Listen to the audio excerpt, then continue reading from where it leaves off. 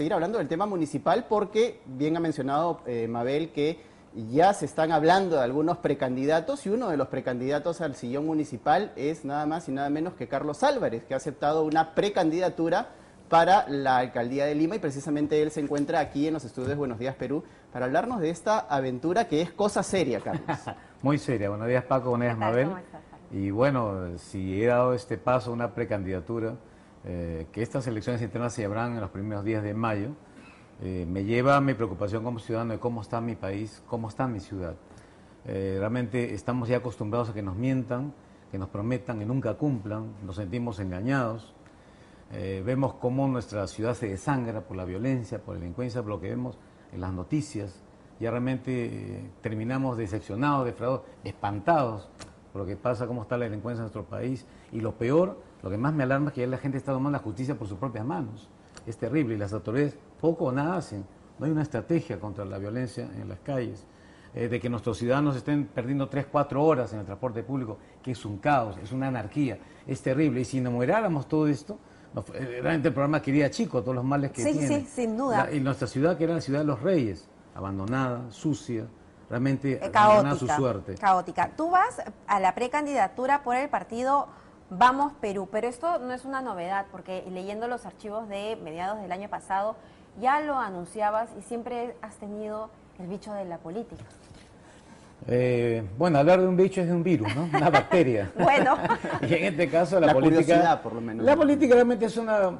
Eh, como se encuentra actualmente, sí, pues es un bicho, es una bacteria, es un virus, es una enfermedad, es una pandemia porque hemos visto cómo lamentablemente con este tema de Odebrecht está la clase política realmente desprestigiada. Yo creo que los políticos tuvieron su oportunidad, tuvieron su chance y miren cómo están dejando el país y cómo están dejando la ciudad. Y puede, puede ser la posibilidad de que entren rostros nuevos, nuevas personas con mejores intenciones, con un equipo honesto y capaz que haga las cosas, que te informe. Y, y mienten los candidatos, todos aquellos mienten cuando le digan, esto se soluciona en un año o de un día para otro, eso es mentira ya estamos hartos que nos metan cuento, floro y que al final nunca se da nada. Pero precisamente Lima es una ciudad complicadísima, Carlos. Tú mismo has eh, definido cuáles son los principales problemas que tiene una ciudad de 10 millones de habitantes, que además no es solo la ciudad, sino su periferia. Y es una ciudad que requiere, por lo menos desde mi punto de vista, un planificador. ¿No? Entonces, ¿qué es lo que hay que hacer con Lima y qué es lo que mucha gente yo creo que se está preguntando qué es lo que Carlos Álvarez podría hacer en Lima, teniendo en cuenta pues tu carrera artística. No es por menospreciarlo bajo ninguna circunstancia, porque eh, definitivamente es rescatable tu carrera, pero ¿cuáles son las capacidades que tiene Carlos Álvarez para poder llegar a, dominar a un, monstruo como, como Lima, ¿no? desde el punto de vista de gestión municipal? Eh, tenemos que empezar primero por cambiar nosotros. Creo que para cambiar Lima tienen que cambiar también los limeños, nuestra actitud, cómo debemos tratar nuestra ciudad no ensuciarla, ser más cuidadosos, defendernos en el tema de la seguridad ciudadana, el tema del transporte público, porque las propuestas vendrán ya cuando, si es que paso las internas y puedo ser candidato, las propuestas en sí. Pero, por ejemplo, el transporte pesado podría trasladarse de 11 de la noche a 5 de la mañana, y eso podría aliviar bastante lo que es el tema del caos vehicular, etcétera. Si tenemos una reestructuración, una reingeniería para el transporte público, igual la seguridad ciudadana. Eh, mira, por ejemplo, nosotros mira lo que, estamos, lo que pasa con ese pobre bebé, o lo que está pasando un tipo que le avienta un ladrillazo a un, anciano en la cabeza. Creo que hay un problema también de salud mental. Creo que también hay que invertir en salud, por ejemplo. ¿Crees que en los últimos años en la gestión del alcalde Castañeda se ha dejado de lado esta reforma que fue impulsada por la gestión anterior de Susana Villarán del transporte? ¿Crees que debió tomarse más en serio para evitar precisamente lo que vemos en pantalla, este caos? Yo lo que, lo he visto en estos, estos años que vengo trabajando como artista y como ciudadano también, es que nunca seguimos las políticas de Estado. Siempre cambiamos lo que decide el otro. Oiga, esto está bien, lo puedo continuar, pero realmente por mezquindad, por réditos políticos, uno u otro hace lo mismo. Igual la anterior gestión no hizo lo que lo bueno que tenía el anterior. Eso no puede continuar así. O sea, lo bueno hay que continuarlo y lo malo, bueno, se corregirá y lo investigue la Contraloría o las autoridades judiciales. Pero aquí lo que tenemos que seguir una política de Estado. Los buenos gerentes deben quedarse. La gente que trabaja bien debe quedarse y continuar con su trabajo. Y hay que apoyarlos. Durante años, durante años has invitado a los políticos y sabes cuáles son sus puntos débiles y sus frases célebres, ¿no? El decir yo soy honesto pues no, es garantía pues, de nada. No, nada, no, nada que ver. Uno tiene que mostrarse tal cual es, auténtico, con sus defectos y virtudes. Por ejemplo, ayer estuve en una, una, sesión de fotos para la precandidatura y me decían, no, sácate el reloj, sácate la cadena de oro. ¿Por qué? No, es que esa imagen eh, que tienes plata, ¿por qué? ¿Acaso yo trabajo para Odebrecht? ¿Acaso he robado algo? ¿Soy corrupto? No, yo tengo mi reloj por no, trabajando, rompiéndome los pulmones. Mostrarse tal cual eres. O sea, otro aspecto que me preocupa mucho, yo soy animalista, por ejemplo. Ver a las mascotitas que están abandonadas a su suerte pobrecita sin hambre, si no, si vas, no vas a tener, vas a cuidar un animalito, pues no lo tengas, ¿no? Depende de hacer un albergue también para los animalitos y las mascotas, aplicar lo que es la zoonosis, eh, controlarlo en su salud, en su cuidado, eh, esterilizarlos, etcétera, ¿no? Y darles un cuidado especial porque los animalitos nos, hacen mejores seres humanos. ¿no? Bueno, una cosa es con guitarra y otra cosa es con cajón, ¿no, Carlos? Una vez que entras a la gestión pública te encuentras adentro de un, monstruo, que muchas veces no vemos y no conocemos. No deja caminar. ¿no? Y, claro, tú has estado en contacto con el mundo político precisamente por tu trabajo y conoces cómo son los políticos, pero la gestión por dentro es otra cosa, ¿no? Ahí sí, a veces uno tiene que encontrarse con labor política dura y pura, ¿no? Tienes que negociar, en el buen sentido de la palabra, con opositores, con gente que te va a poner trabas, con regidores que son de otros partidos y que no quieren que eh, se implementen tus, tus propuestas y lo que dice Mabel, ¿no? Con la burocracia.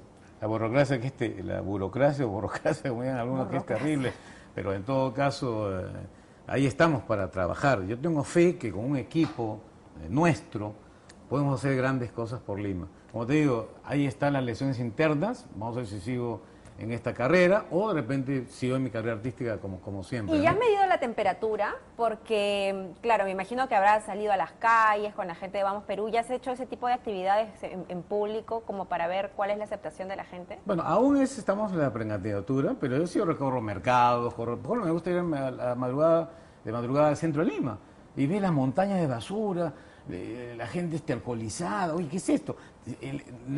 nuestra, joya es el centro de Lima. Eso hay que recuperarlo, como tiene otros países. Bueno, hablan del parque automotor, no, que hay mucho carro. Pero Buenos Aires, por ejemplo, tiene cinco veces el parque automotor de Lima. Sin embargo, es una ciudad ordenada. ¿Cómo lo hacen entonces? Hay gente que sí está haciendo bien su trabajo. Entonces, esa gente hay que convocar. De repente, en el tema de desarrollo urbano, convocar al rector de la UNI ¿Por qué no? Porque saben, no, la gente de mi partido, la gente que es mi amigo. No, eso hay que terminarlo. Hay que convocar a la gente, a los jóvenes que tienen nuevas ideas. En el tema de salud, 30 segundos te quito, por ejemplo. Ver estos casos que piensan de salud mental ya. De repente, este, bueno, no hay psiquiatra, no hay psicólogo, eh, policlínico de salud mental. De repente estas personas que son jubiladas por el MINSA, convocarlos y que sigan trabajando. Es inversión del Estado en estas personas, que pueden seguir trabajando algunos años, porque vemos que esto, esto, esto ya no da para más. Igual me preocupa el tema de los adolescentes, de la juventud, de los chicos, de las chicas. Hay una un trabajo de prevención, no solamente Ministerio Público, Poder Judicial, ¿no? el Ministerio Interior, represión, prevención también. ¿Qué hacemos en el hogar con la familia? Mira, siguiendo la pregunta que te ha hecho Mabel, ¿no? De medir la temperatura. En esta encuesta que ha salido publicado hoy en el comercio tienes ya un 2%, siendo solo precandidato. ¿Dónde está eso? ¿No? Aquí está Carlos Álvarez, ah, 2%. 2%. Esto ya lo habían visto, ¿no? No, en primer lugar está Renzo Rayardo con 11%, luego Enrique Cornejo con 9%, Humberto Lai 8%, más o menos un empate técnico, y más abajo está Muñoz con 3, Carlos Álvarez con 2. O sea, no estás empezando mal para ser precandidato. ¿Cuál dirías que es tu diferencial? Mi diferencial, bueno, sí, bueno yo quiero decirle a, mis eh, compatriotas, a mis eh, hermanos de Lima, que mi propuesta principal es no mentirle a nadie no este, hacer propuestas que no estén aterrizadas. Simplemente decir lo que siento, lo que pienso, el respaldo que puedo tener, el equipo capaz y honesto que, con el que podemos trabajar y dar propuestas serias. Eh, que las cosas no van a cambiar un día para otro, reitero, que todos tenemos que trabajar juntos. Lima tiene que cambiarlo, los limeños. Este cambio viene por nosotros mismos. No es un tema de cemento, de infraestructura. ¿Y quién se preocupa de la infraestructura del alma? La infraestructura de los principios, los valores, de cómo somos, de cómo amamos Lima son las cosas que yo propongo, no mentirle a la gente y tener un, equipo que nos realmente nos respalde y que hagamos buenas obras por nuestra ciudad. Le arruinemos este monstruo, como dices tú, ¿no? Y sin perder el humor, ¿no? Porque imagínate, te, llevas eh, a tu hijo al colegio y con este tráfico, ya mejor llevo a la universidad, es de locos, ¿no? Ha sido Carlos Álvarez aquí en los estudios de Buenos Días Perú con su chispa, por supuesto. y bueno, sigo ya trabajando, sigo trabajando. Después de mayo vamos a ver si es que queda como candidato a la alcaldía de Lima. Por lo menos hoy ya nos hemos enterado que tiene buen pie en sí, este 2%. Está tranquilo, ¿no? ha decidido dejar de imitar o vas a, vas a seguir Vamos a estar así como así de atrás, venimos así como, como, el, como la orejita, orejita flores, así de atrás, de atrás. Vamos a ver qué cosa pasa. Yo voy a hacer con mi trabajo, estoy también este, en, la, en el Teatro Canú.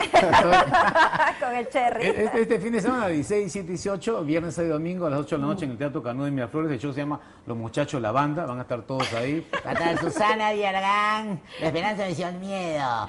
Están todos. Y están bien barato. Para decirle como Jorge Farata. Este viernes a 8 mil, entonces Canú en Miraflores.